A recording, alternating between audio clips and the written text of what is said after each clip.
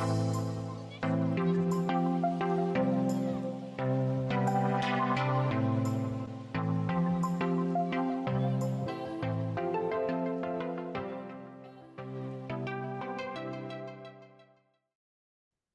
right, so we're officially starting this wonderful session and so, so happy that you made it, that you're here.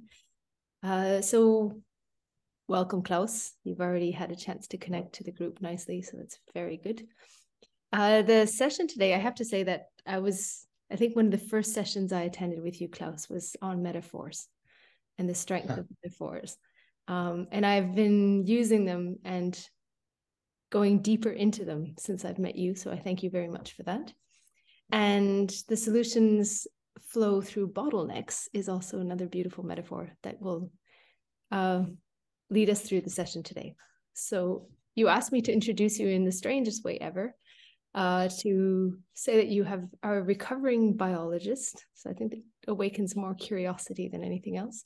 Um, also, a recovering ex manager and you're working currently as an OD consultant. And I think this is where we're going to see the beauty of your work and learn with you here today.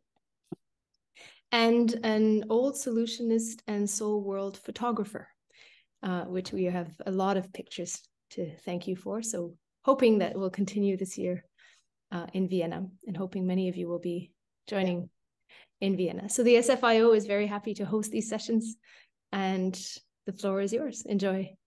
Thank you very much, Annie. And uh, yes, indeed, it's very nice to see people from different phases of that long journey along the solution focused uh, ideas. Uh, Yoram, I've met in the very first uh, one in Bristol 20 years ago now, and uh, other people along the way in different places and locations. And I'm looking forward to seeing some of you again this year in, in Vienna, in Susanna's place. Lovely. Uh, my idea here is to introduce, to connect solution focus with a different focus, which is about constraints, as is mentioned in the title. Another word for constraints is bottlenecks. And uh, for the last couple of years, I really enjoyed very much and I profited a lot, even economically, from a combination of solution focus and a focus on constraints. And that's what I wanted to share here. I've prepared a lot of slides. Uh, don't be afraid. It's more like, you know, those little devices for kids where you have this, this paper movie thing where just you flip through and you create some kind of like the impression of movement. That is my hope that I can go through the slides rather quick, especially as in the first half, it's about concepts you know already. So lean back, you know, a little bit and feel like in the cinema, the show is on and the show is about two things that are dear to my heart. And one of those, you know, already, one of those is solution focus. And it's only one half of the glasses. You could say that's the green glass. And you can combine that with another focus, which is a focus on constraints. And that creates, as you know, when you have two sides, one eye sees not the same thing as the other one, that creates this double vision, or in this case, even a 3D vision. You know, depth is created by the two eyes seeing different pictures. And with respect to your well-being, that creates flow. And flow here, I mean in a double sense. One sense is the psychological flow, this really enhanced feeling present and challenged and well. And the other, which I would like to focus on first, is workflow, which is economically creating value, creating flow along a value stream. And at the end, you have a happy customer who is happy to pay the bills. And yet, then you have financial flow. And that combines to solutions both for you as a consultant and for the, for the client. The ancestors of the first one, everybody here knows uh, the, the persons or the pictures by Insoo and Steve, who both uh, deceased meanwhile. Uh, the ancestors of constraints focus is less well known in this community, but there's a separate community where everybody knows Eli Goldratt, a physicist from Israel who uh, moved to uh, America, became a consultant, and wrote his first book about uh, the goal in 1984 around that. And the other two Rami and Efrat live in Israel, are his son and his daughter, and these two I met at INSU I met. I would like to start the story to tell the story top down, and I mean that literally. I'd like to move to the top of the Swiss Alps. Uh, this is a photograph taken in 2005, and you may know a couple of people here. There's Mark McKergow, there's Insoo Kim Berg still alive, there's Björn Johansen still alive. In the back is Kirsten Dierolf and, and a couple of other people. And this is on top of the Schilthorn, and there we had a nice book launch. And the book launch was Danny Meier's book on solution focus in teams. And in that book, I found my agenda for today. Because on page 85 in the book, Danny introduced the change formula by a guy by the name uh, Julio Olalla, a Chilean coach who worked with the former finance minister of Chile, Fernando Flores, founded a company, emigrated to States, etc., etc. And he said the following. He said, change in any social system does happen under the following conditions.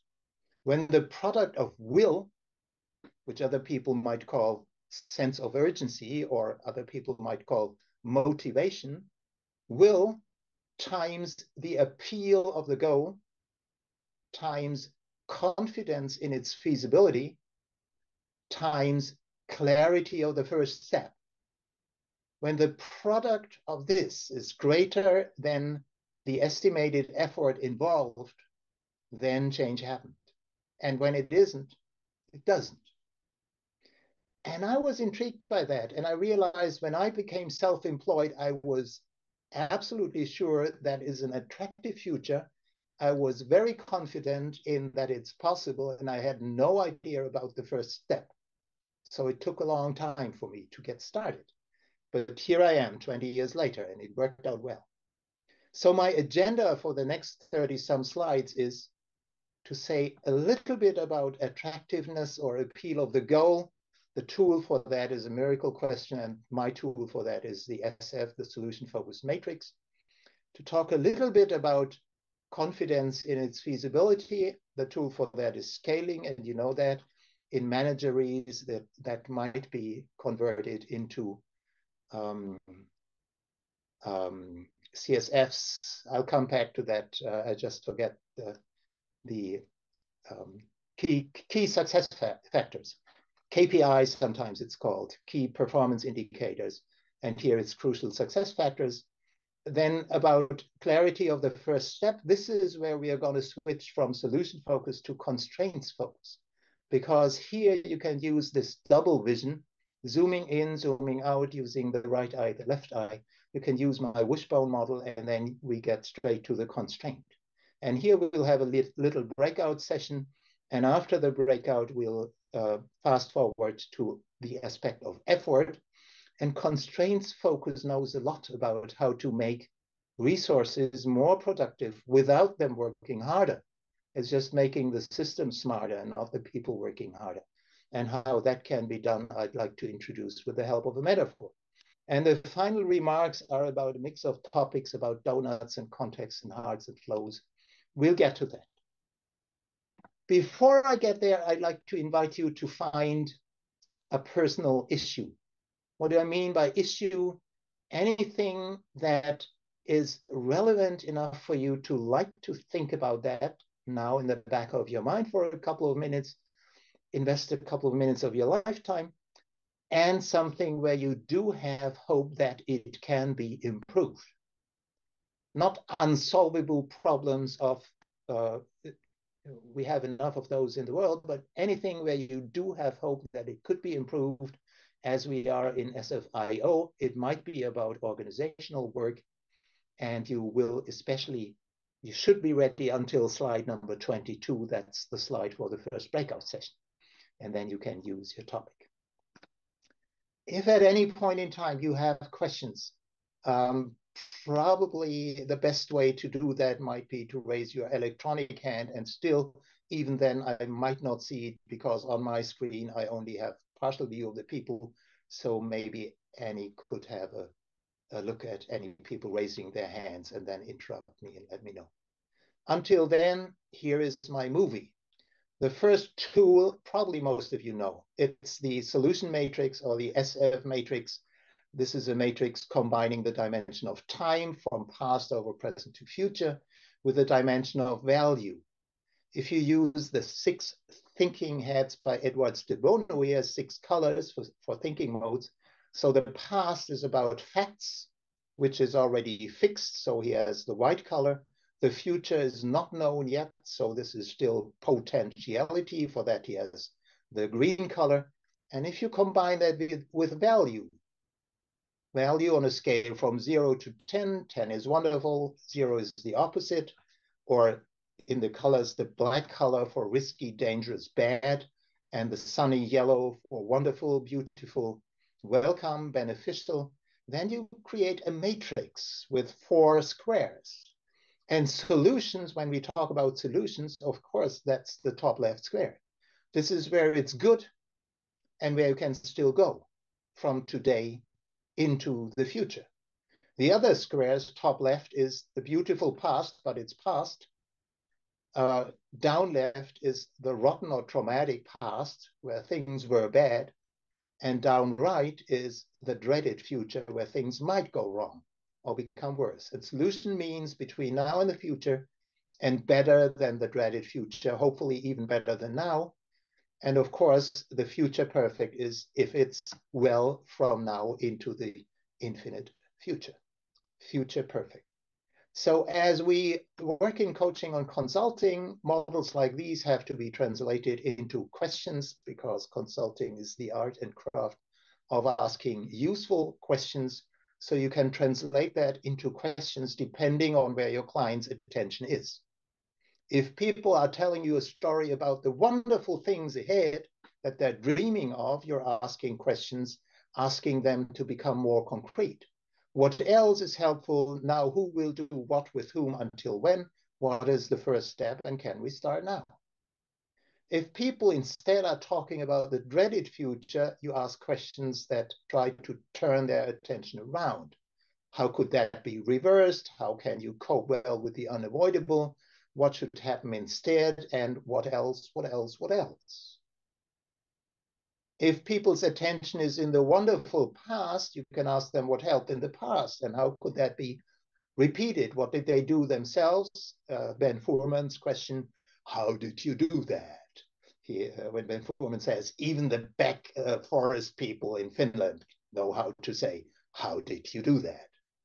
and uh, how could you repeat that? And which part of that would be recycled and how? And then you get to the present and to the future. And if somebody is in the rotten past you can ask people how did you survive?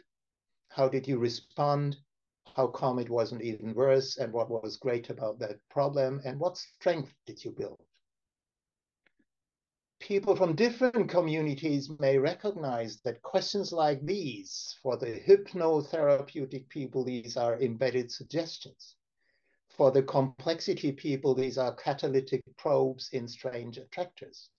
For the NLP people, there are presuppositions, or for the TOC people, there are assumptions contained in the questions. Never mind, we'll get to some of those a little bit later. So the first time I introduced this model was in 2006 in Vienna. So this year is really a re revival and return to Vienna. That's when Insoo was still alive and was present in the beer garden at the end of the of the whole conference. And 13 years later, namely in 2019 in Budapest, I found the same model presented much more lovely than I can do that here by, by our Canadian colleague, Haesun Moon and she doesn't call it SF matrix, she calls it dialogical orientation quadrants. But it's exactly the same thing, and we had a wonderful conversation in, in Budapest last time. When you try to translate models like that into management, sometimes you create shapes like these, a little, a little bit strange, a little bit confused. With a solution focused matrix, that's easier. You can translate that into management lingo very easy top right are visions. On the way to visions, you have goals. If you cannot go to that place because there are obstacles, you have daydreams that are not yet realizable. Uh, in the dreaded future, you have what to avoid. In the bad current, you have behaviors you want to do, you want to see less of. in the dreaded past, you have bad experiences. In the positive past, you have experiences of all kinds that help you create skills which you can use on your way to milestones by starting with the first steps. So it's the same model, just translated into managerese. And when you follow that, that arrow from where you're now, via first step, to milestones, goals, and visions, what you get then is a scale, and everybody knows that. So I can really flip through that. On a scale from zero, which is ideal, via where are you now, the as is, to the to be, the way you want to go, your desired goal. And then you have three spaces. The one is the room for improvement.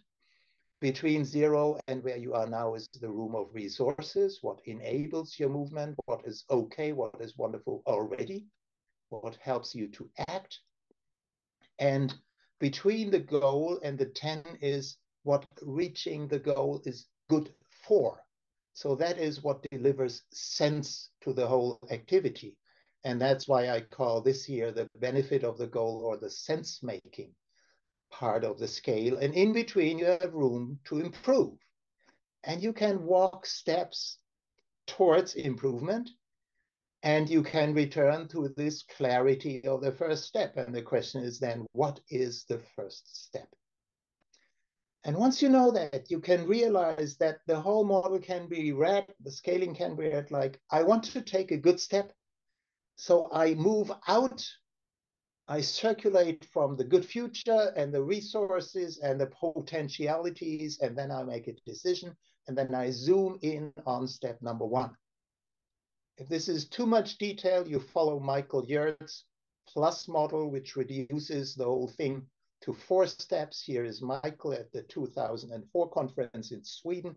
And Michael says you start with a platform where you are, you zoom out, you look far ahead. That's the L in the model. You remember that you have more resources that you can use to distinguish between what's bad and what's good. Find what works and what doesn't. And then you utilize the resources that you have to take a step forward. It's the same movement before you take a step, you, you zoom out, you circle the, or, the environment, you orient your first step, and then you take it. So the question becomes, what can we say about first steps worth taking for? Zooming out and zooming in, everybody knows from Google Maps. You know, when you wonder where is this guy Klaus talking from, I can tell you here's my address, Eichendorffstraße in Hirschberg. So you know exactly where I am, and you have no clue where it is, even on Google Maps. To know where it is, you have to zoom out. So you do something that uh, Matthias Varga from Kibéd says you include what was denied or overlooked. Then you zoom out too far, you realize, oh, that's somewhere in Europe, but you don't see any details. So when you moved out too far, you have to zoom back in. You have to differentiate what was diffused. The one is the movement of orientation, the other is the movement of focusing. And in solution focused work and in constraint focused work, that's the moving back and forth. That's the looking with one eye and the other eye and then combining the two to get a 3D picture and a 3D picture, especially of the next step. The last model from Solution Focus that I want just want you to remind of, because you probably have heard that before, is the wishbone model. And that comes from the quality management tool called the fishbone, which illustrates how several components interact towards a problem. And along came Jenny Clarke, who said, well, that's all nice and well, but we don't think about problems, we talk about solutions.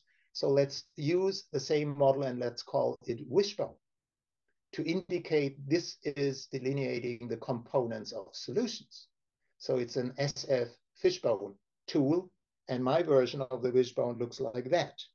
I do not want to go into detail. I would just like to sensitize you for the fact that this can be read as a scale with zero and where are you now and where would be good enough and where would be 10 and what would be the first step to take given that this happens in a context that you have boundaries to the space where you can act which systemic people call restrictions.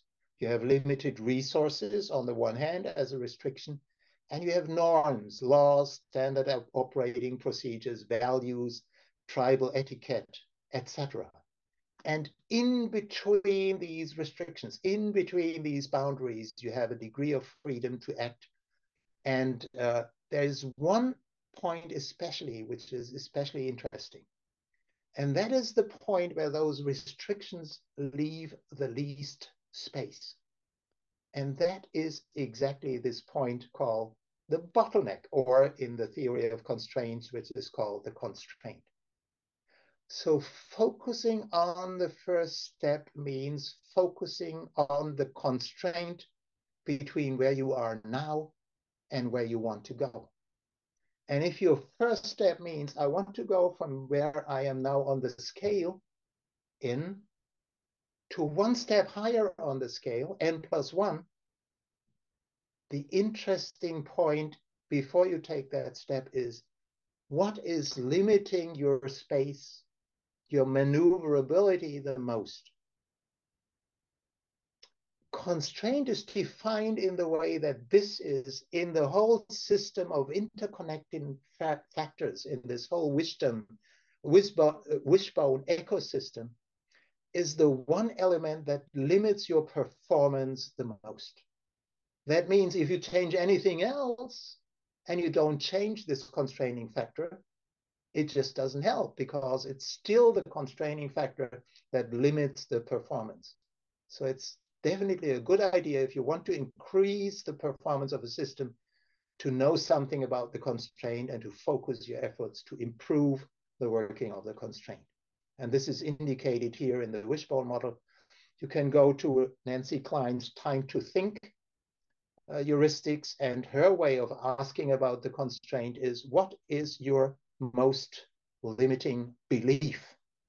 because our beliefs are what create constraints on the outside. So much for movie part one. With that, I would like to invite you into breakout rooms and talk a little bit about these questions.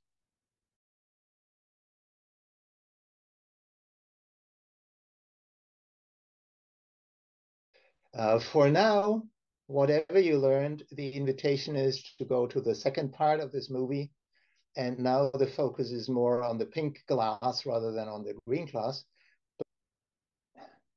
Okay, what you should see here is a spider web and a table. And this is just one way of transferring that idea of scaling that everybody in this solution focused world knows over again to a management world. And asking for if you were in a project or if you were thinking about the success the successful performance of a company or another organization into their future, what are the things you need to get right? The critical success factors, the key performance indicators. And this is a very simple pen and paper tool where you can track eight CSFs, critical success factors, by just scaling them. So you enter what you think is a critical success factor on the left side in those segments of the circles, one, two, three through eight. You choose your critical success factors, and then you scale. What do you think on a scale from 10? This is ideally expressed to zero. This is not expressed to at all. Where are we now? You write in an n for now at the scaling point, and then you get an area for the now. And you do that again for, and where would it be if it were good enough? So you create an overview with the help of eight simultaneous scalings. And then you see areas where you are pretty much to where you want to be, and others where you're pretty far away. And that invites you to focus. And you could, for example, focus on the one factor where you have the longest journey yet to take where the distance between now and good enough is the biggest. So from orientation, zooming out, then you zoom in, you say, okay, now I choose this factor, this CSF, the next focus, the step number one. and you think about how would I know if I were one step higher on the scale with respect to this factor? How would that factor be just a little bit better? And then you continue solution focused working on this one factor.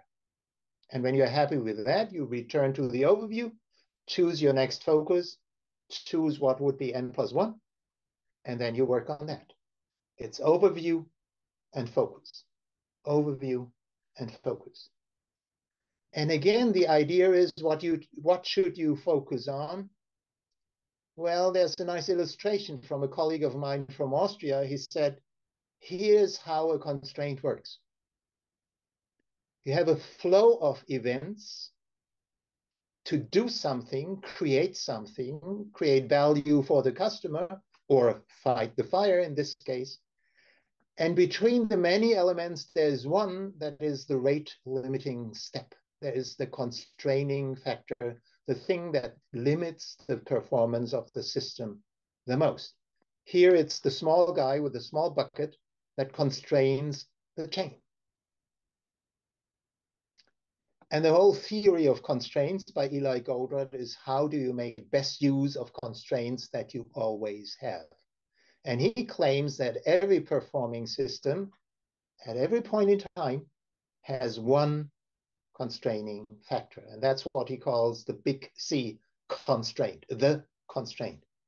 And the idea, if you think about your clients, your working systems, under the assumption that there was one factor constraining the performance, then it's immediately clear that whatever you do that does not improve the flow through the constraint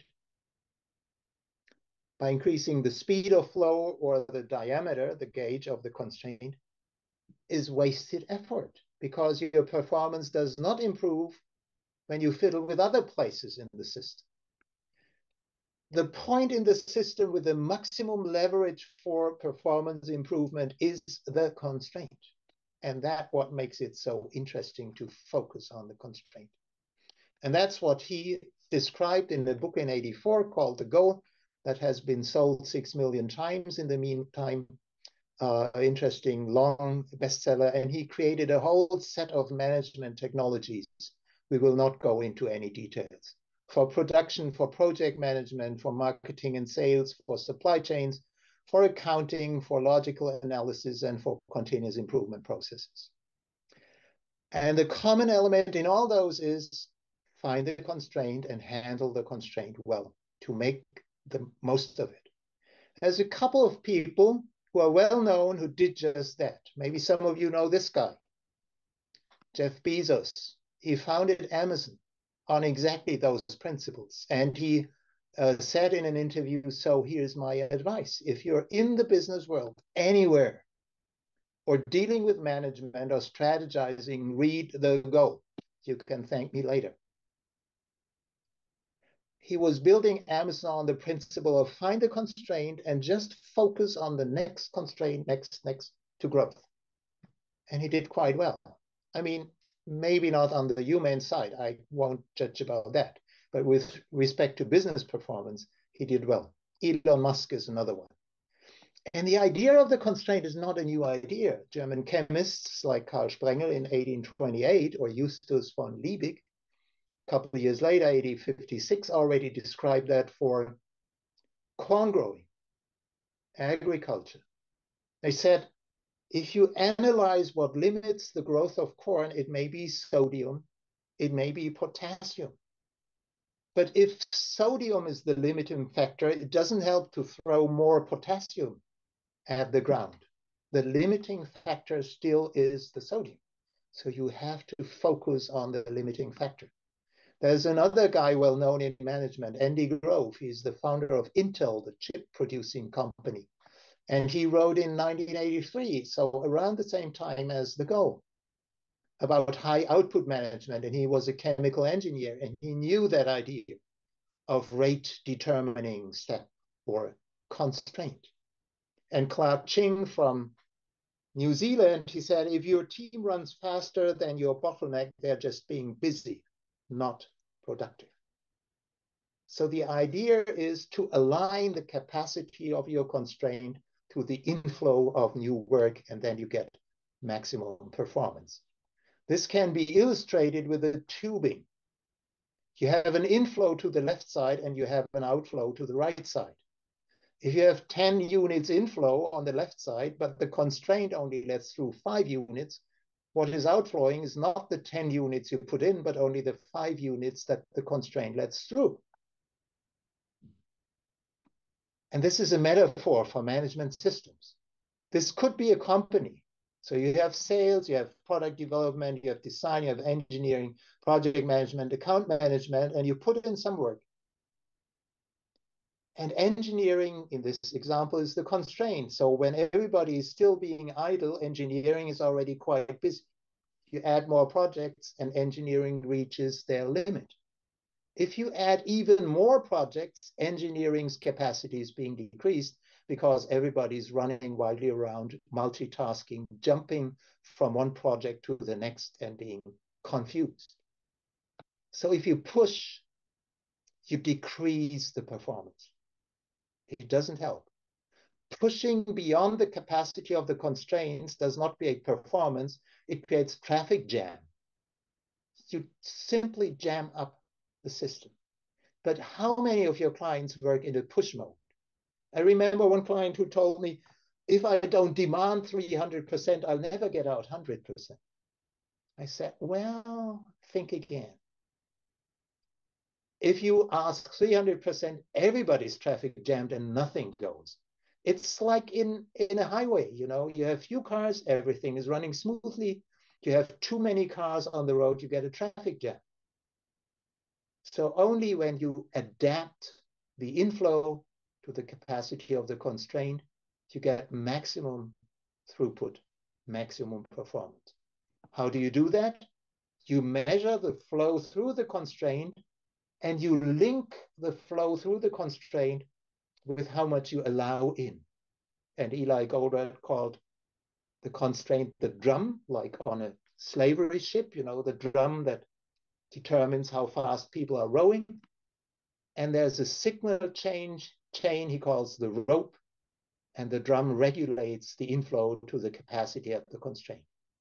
You add a buffer. I'll talk about the buffer at another time. You have some some Uh, security capacity at other places in the system, and then the whole model is called drum buffer rope.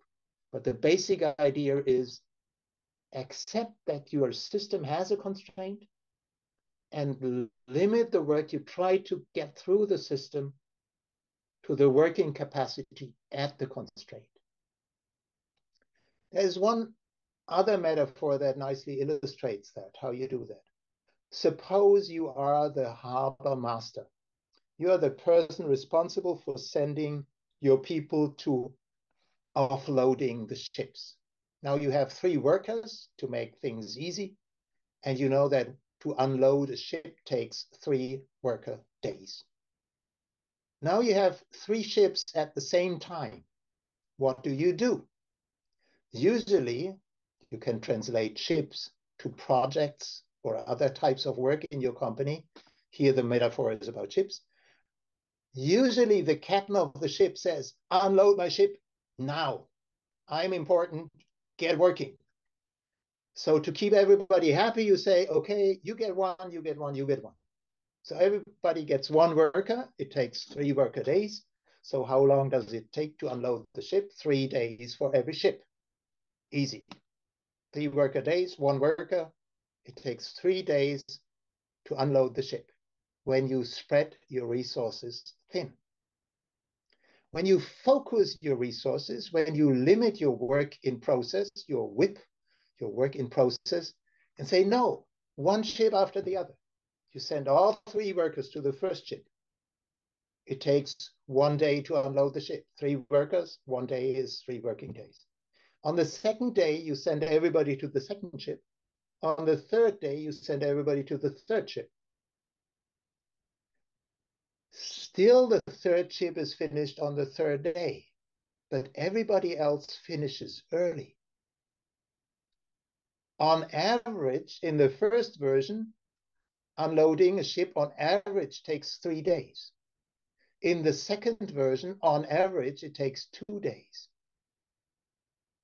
You gain 30% productivity just by rearranging the sequence, just by limiting the amount of ships that you work on to the capacity of your people, to the constraint. You, you do not use more resources. You don't, do not unload less ships. You just change the sequence. You limit your WIP from three ships at the same time to one ship at the same time.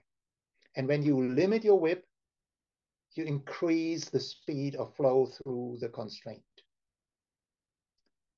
And that is one of three laws around constraint. The first one is called Little's Law because it was invented by a guy with the name John Little, and it was invented back in 1961.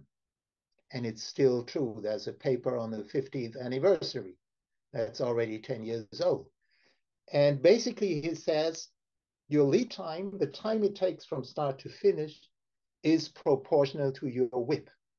The more things you try to do in parallel, the longer everything takes. And then there's two more guys I would like to introduce you to. There's a guy, Martin Erlang. He says, and it's even worse. When you utilize your people to the max, you create waiting queues. And the queues grow by the square of the utilization, which translated to non-mathematical terms just means queues grow much faster the more you squeeze your people. Now, in cost-cutting times, everybody tries to squeeze people, and what do you get? Delays, delays, delays. You create queues by squeezing people and resources exponentially. And the third guy, by the name of Kingman, he said, if you have variation in the system, statistical variation, and in every organization that tries to innovate, you need variation. If you have variation in the system, then you have a trade-off between resource efficiency and flow efficiency, which means if you want to, to, to utilize your resources, your flow suffers. That's very easy to see. For example, how long does it take for you to answer your average email? If it's just a short question, maybe it takes 30 seconds. How long does it take until you have time to read the email? Maybe a day. So your flow efficiency is 30 seconds divided by one day. It's way below 1%. There's a lot of mathematical details that I skip. What's the idea? What does that mean? Little's law, limit the WIP. Erlang's law, avoid waiting queues. And Kingman's law, if you have variations, look for the flow rather than the resources. What does it mean Translate it into management? If there's more work worth doing than you have capacity, and that's always true, then please visualize all work you have, prioritize it clearly, limit your WIP, apply a pull system, not a push system, which may mean when new work comes along, you have to triage the work. You have to decide, do we have capacity to do it now? Then we do it now. Will we have capacity to do it later? Then we postpone and do it later. Will we not have capacity later? Then we kill it now. We don't take it. That is triage. Triage incoming work to limit the WIP to the capacity of your constraint, and then you have maximum flow. And once you can do that, then apply a continuous improvement process to keep the system evolving and to add even more performance. That's it. I mean, the question is how do you identify the constraint? How do you work that? There's a lot of detail. But suppose you knew all that. These are typical results that last week a colleague from Holland presented. He was working for a public hospital. He applied this constraints management to the hospital. And before they had a due date of performance of only 50%, after applying constraints management, they were beyond their 80s, up to 95% due date performance. Lead time was cut down in half, WIP was cut down in half, the quality was much better than before, and the output rose by 20 to 30 to 40%. Translate that to your average client. What would it mean for your client to deliver in half the time and increase their revenues by 20 to 40%? What would that mean for your client? I have worked for one client and they had an average delay in their projects, average lead time. The planned time was three years. The average delay was six months. Six months times 600 projects in parallel means 300 project years delay every year. That means 300 project years loss of income every year. A year later, their, their average delay was zero. And the people were happy. And the only thing we did was focus on the constraint and utilize the constraint max by working smarter.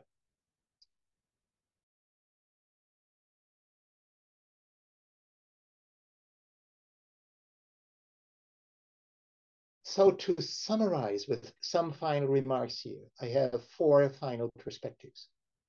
One is with the first pair of glasses, you have the green and the red, you know, the solutions focus and the constraint focus. And one idea is you put both on both pieces of your vision. That would be not a two-colored, but a bifocal glasses. You combine solution focus and constraint focus all the time. Maybe you combine even more perspectives. Suppose you could have insect vision. You know, all those many eyes delivering input at the same time. You would have a much broader picture.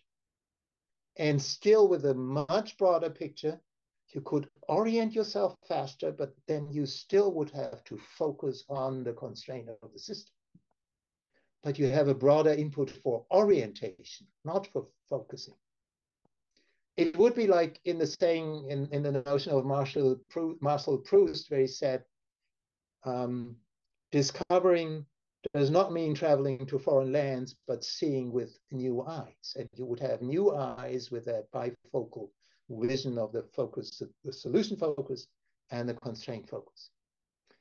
And with those in insect eyes, you would include many more contexts into your orientation phase. And you would do something which Nora Bateson, whom you see here at the 2011 SOLWorld Conference in Hungary at that time, talking about her father, Gregory Bateson, that you can see in the back in her in the documentary, which she calls transcontextual work. You look at many contexts at the same time you realize you're being a consultant and a mother and a citizen of Canada and, and, and. And you use all those contexts to orient your work and then to focus now what is the most limiting element on the way to where I want to go. So do not use only one context, be trans-contextual. If you want to learn more about trans-contextual, here's the link to Nora's current working. There's more than one context. Of course, there's more than one flow.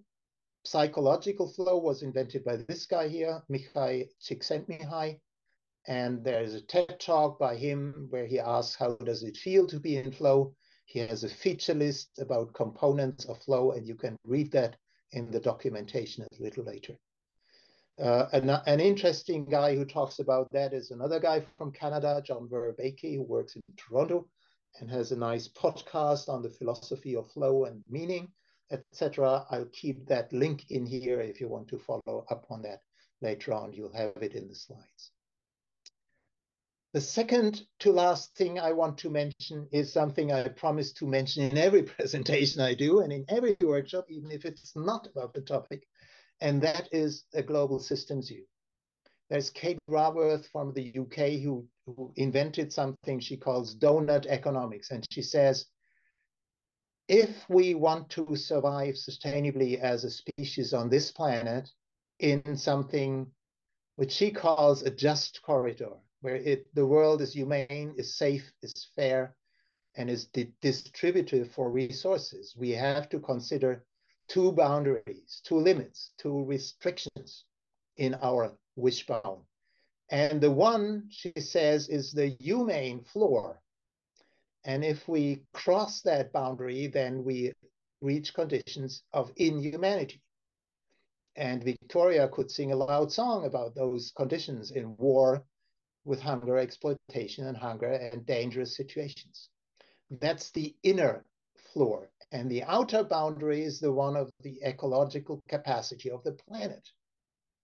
The planet sets constraints to the way how we can interact and uh, do our economics, the ecological ceiling for our economic humane interaction. Biodiversity, climate, pollution in the air and waste, etc. And she says, if you look closer at her model, which has lots of details, in the nine sectors of the ecological sphere and in the 15 sectors or 13 sectors of this humane sphere, we currently violate most of those sectors at the same time. And our species will not survive if, if we continue to do that.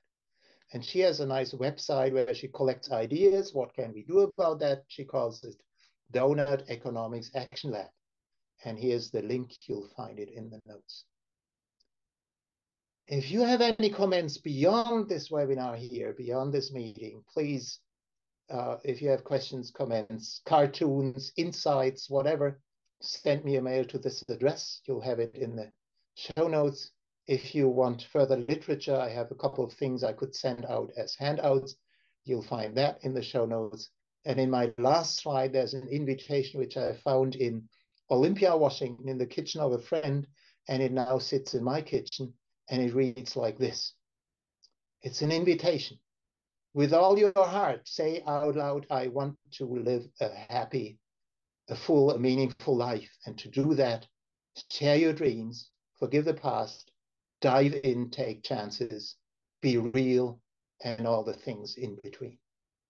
With that, thank you very much for listening. I'm happy to take any questions that people that have to leave still have time to ask. I'm happy to return to breakout room number two for those people who still have time. And I'll be most happy to hear from you at some later point in time by firing off an email reporting Here's what I found by applying your constraints ideas to my experiments. Thank you very much from all my heart.